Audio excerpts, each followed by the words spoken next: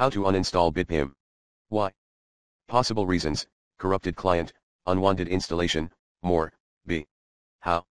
Solution number 1, gain admin access and start standard uninstall routine, get app info like created files, exit the target app, do the common uninstall routine, restart your computer, clean related projects or remains. Follow me, exactly. C. Solution number 2, try the recommended uninstall tool pro in the description area, if this removal guide fails to work. Tip, please PM me if you need further assistance.